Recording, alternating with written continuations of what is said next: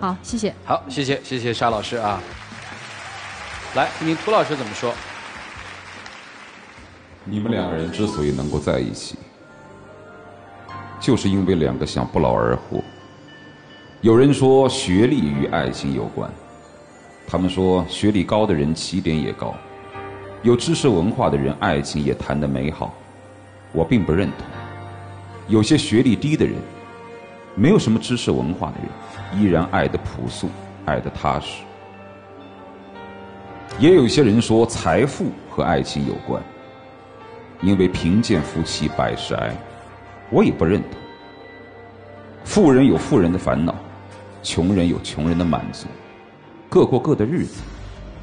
但我认定有一样东西和爱情一定有关，那就是个人的自我修养和自我要求。一个对自己没有要求的人，会放纵自己，同时也会轻看别人。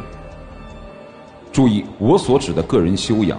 和个人的自我要求，不是指知识文化，也不是指家境，而是指你对于工作的勤奋，对于生活的踏实，对于爱人的尊重，对于感情的忠诚，当然还有人格的独立。但你们俩一个都没有。女生是长得挺漂亮，但没有气质。